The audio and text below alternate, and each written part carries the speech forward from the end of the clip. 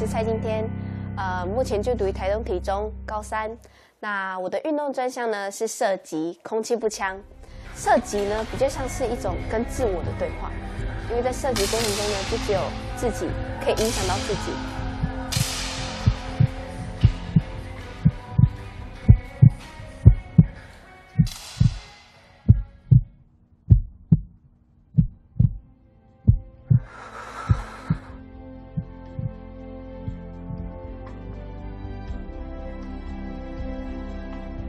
不是外在的因素影响你，而是你自己脑袋里面的想法去影响你自己的。所以说，呃，如何在射击中保持一股比较平静、比较就是保持着一个正面的想法，对射击选手来说是很重要的。我们要求打十分，动作做得很好，可是打不出来啊。啊，他要求自己很严苛嘛，哦，他就希望把它做好做好，可是打不好他就哭了。那时候可能是因为国就得到全州，对自己压力很大，因为他说我这场比赛打好，那我下一场比赛应该也是没问题的。其实我第一发子弹我就考八八分，在射击上是一个非常烂的分数了，已经是失常的分数了。那啊，那在打到一半的时候，我就忍控制不了了，我就因为那一发，然后后面也不是很好，就整个崩溃。原本堆积好的情绪就直接崩溃下来。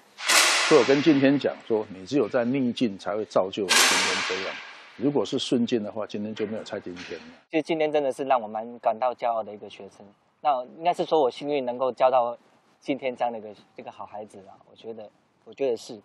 那其实可能从小爸爸听说爸爸从小就对他要求就蛮严格的。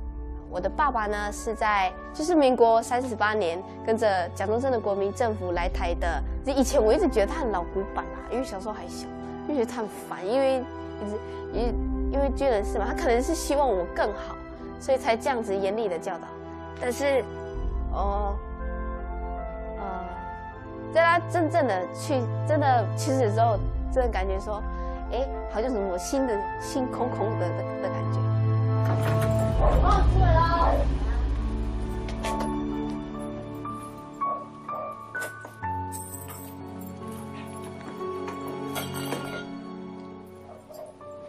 都不用我操心就对了，对了，又很乖的，社会是蛮温暖的，帮助我们嘛哈。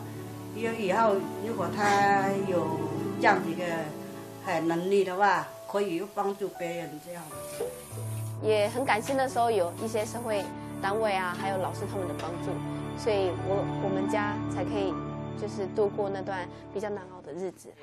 他的态度，然后他的自己的理想，跟他的坚持，所以他不管到任何的一个场域里面，或者这个学习场域或者工作场域，我我对他都很放心。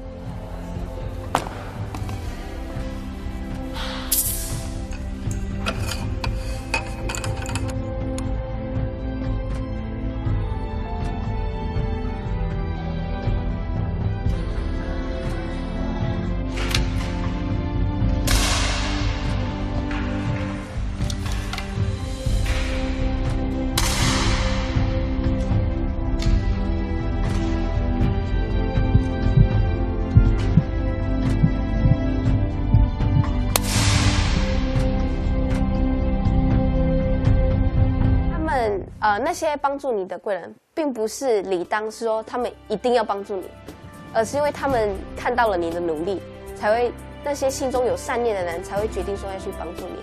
所以呢，我对这每这些的帮助都感到非常的感激。所以我现在目前抱持的心态就是受人点滴，涌泉以报。